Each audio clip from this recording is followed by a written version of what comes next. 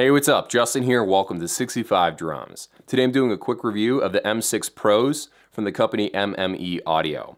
And this is the variation that comes with the custom molded ear tips and also the laser engraved logo on the faceplate. Now, to be upfront, I did not buy these myself. The company did give them to me, but I'm not sponsored by them. I'm gonna give you as honest a review as I possibly can. Just wanna let you know where I'm coming from. So these guys right here, it's a really weird combination. Most of the time, if you buy custom molded in-ears from a company such as Westone, I have a pair of Westone UM Pro 30s. If you buy a custom molded pair of in-ears from them, it's gonna be like 500 or $1,000. It's not gonna be cheap. What this company is doing is they're trying to make custom molded in-ears a little bit cheaper. So you actually buy whatever body you want. You can buy the body that's like the, the earbud that's like 50 bucks or 150 bucks and then the, the cost of the custom molded in-ear is separate. So the custom molded in-ear tip part is about $150. They can scan your ear for free and print them out for you, or you can go to an ear doctor like I did, and then you mail them the ear molds and then they'll do it that way. So you can either pay to do it or do it for free. But because I was nowhere near them uh, in enough time to do this review, I just decided to go to the local ear doctor instead of flying to California or whatever event they were going to do it at. The first thing I want to talk about is what happens when it arrives in the mail. What do you get in the box? So in the box, you get quite a few nice things for basically an earbud that costs $50. So you get a very nice carrying case, it's a zipper carrying case. Inside it comes with an extra cable and it's four pole. That means that it has a little microphone on it so you can take phone calls if you swap out the cable for that version of it. So you basically have a backup cable in case this one breaks. I do like this. It's got a nice sturdy feel to it. It feels pretty high quality to me. Also in the box you get quite a few different kinds of ear tips, uh, triple flange ear tips, which I like the best. A lot of times you'll have to buy those separate off of Amazon for an extra seven bucks. What you're getting for 50 bucks is really, really nice. Let's talk about how it sounds. So I believe this is just a one driver in-ear. It was really hard to figure out how many drivers were in here because when you looked at the website, they literally don't tell you on the web page. But when I looked at the M7s, I could tell from the way they're describing it, the M7s are basically the M6s, but with an extra driver just for low end. And these still sound pretty nice. The best way to describe the way this sounds is that it's, it's got like a sonic V sound to it. So you have a lot of bass, a lot of treble, and the mids they dip quite drastically. So there's not really that much harshness, and that's not necessarily a good thing.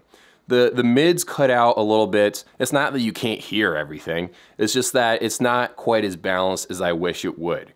Now I have used this in a live environment with an acoustic drum set, and it, it performed just fine. I've also used these to record with my electronic drum set behind me, and it works just fine. So overall, it's kind of an odd pairing to be honest because you have the in-ears that cost $50 and then you have custom molded ear tips that literally cost three times the amount that the actual, you know, drivers cost.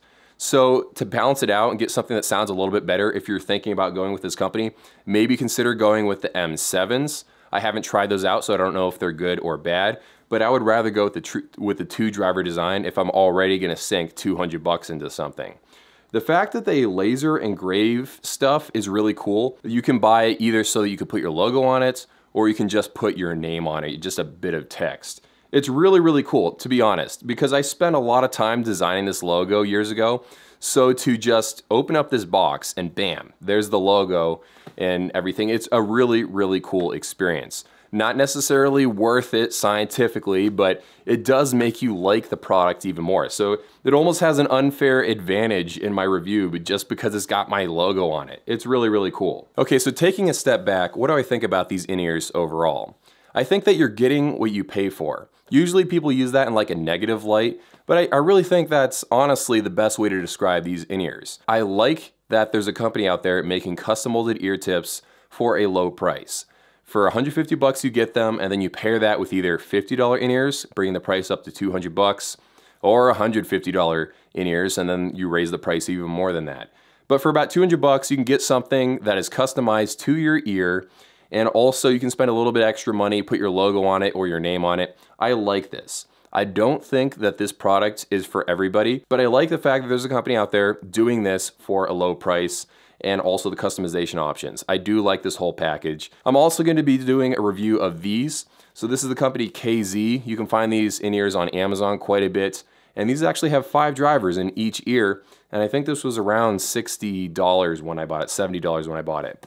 Later, I'll probably be doing a, like a, I don't know, a comparison, a review. Uh, the $50 version without the ear tip, you can remove this really easily. I'm probably going to do a versus video later on of these versus the KZ ones off of Amazon. So that should hopefully be a future video. Keep an eye out for that. But anyway, hope you guys enjoyed the video. Let me know what you guys think of these in-ears if you've ever used them. Have an awesome day, and I'll see you in a few.